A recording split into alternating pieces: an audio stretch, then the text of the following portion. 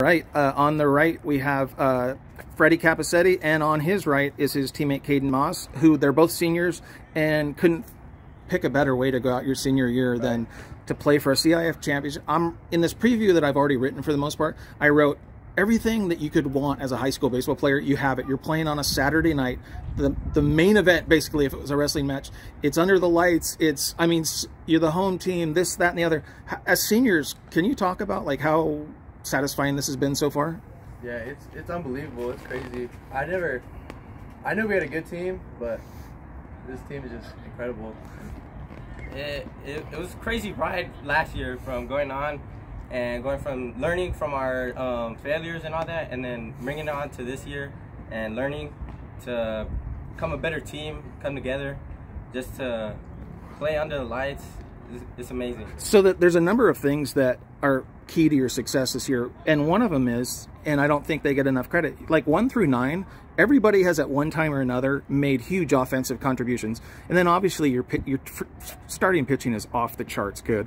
Um, can you talk about, um, in your own opinions, what has been most key to doubling the wins, pretty much doubling the wins from 2021 to 2022? Uh, I think what helped us out this year is more having more of a team like chemistry, mm-hmm. getting together, knowing everyone basically, and just pitching in along the wins. Okay. Yeah, it's just like a big family. Like chemistry is big.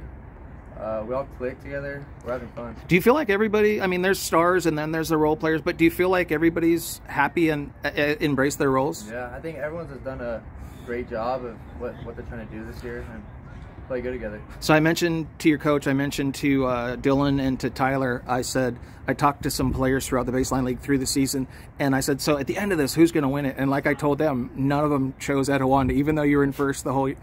Um, did you know that people were overlooking you, and how satisfying was it to? Yeah. Well, definitely with the season last year, I thought everyone was going to overlook us, and we're proving everyone, everyone wrong. And at, I mean, to be fair, you guys didn't have any you know, pitchers with varsity experience for the most part. You're, you know, your one guy's 14 years old, okay. and the other one, I don't think did, did, Dylan not get a whole lot of starts last year, right? Not really. Oh no, he was the yeah, number two. He Was, uh, yeah. But obviously, he wasn't 10 and 0 with a 0.77. Yeah. Um, what do you think is key to winning Saturday night? I mean, it could be something minor or major. What's something that you guys either don't do well or do well that uh, going to be key in you guys winning? Um, for us, I think key to winning on Saturday is basically just coming out and play have fun. But I mean, I mean, you know, this is the basics in baseball: limit errors, you know, this, that, and the other. What's something like? What's your kryptonite? What's something that Etiwanda cannot do to win? If you want to win, what's something you got to make sure you guys don't do? I feel like having a lot of energy really boosts up having having good at bats. Okay. Just staying consistent through the game. What would you want as seniors? What would you want to tell your coaching staff and your younger teammates about your final year with them? What would you want them to know about their time, your time with them this year? I mean, is it something you're definitely going to remember like yeah. fondly for a long time? It's yeah. definitely something I would tell my kids when I'm older. So. Do you guys? Uh, hopefully, I'll get one a different memory, and then we'll be done with this. Um, what's a moment for you this year that you're just like, whoa, this is something that for 10 years, 20 years, I'll, I'll remember? Because to me, to hear about how that game went on Tuesday, seventh inning, bases loaded, 3 1 pops it up the right. Did, was it you that made the catch? And right, who was no, the? No, it was uh, Shigenaka. Oh, okay. Yeah. But you know, what was what's the your individual moment of the? Uh, what was your favorite moment of the year individually?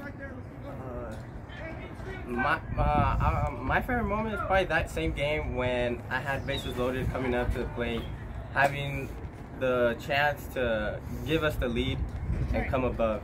Okay, how about you? Uh, I think my favorite memory was winning winning league this year. Okay. And everyone was overlooking us. Okay.